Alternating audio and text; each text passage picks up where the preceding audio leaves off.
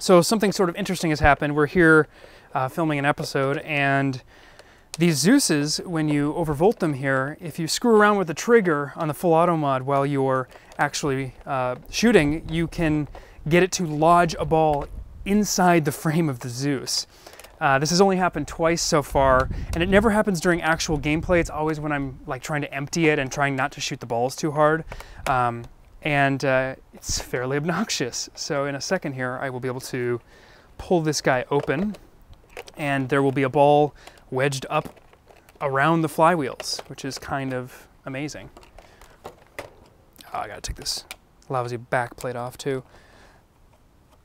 Thank you, thank you Nerf for putting totally different screws in this back part so it's twice as hard to get off with the same screwdriver.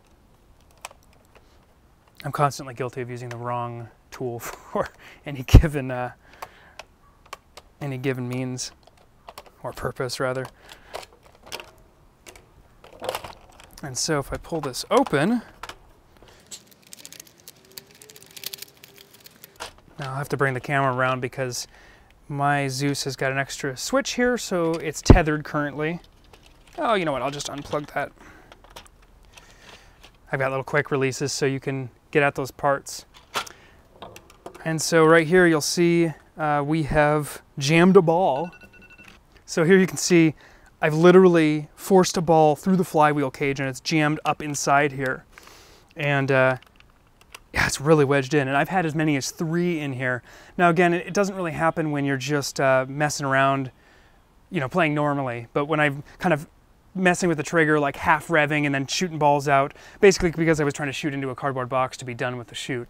Uh, but when you do that, it, uh, it doesn't like it, so make sure you're fully revving every time. You know what, though, while I've got this open, so this is the inside of the blaster here. You can see, uh, obviously we've got our LiPo, our magazine, which has been modified at the end.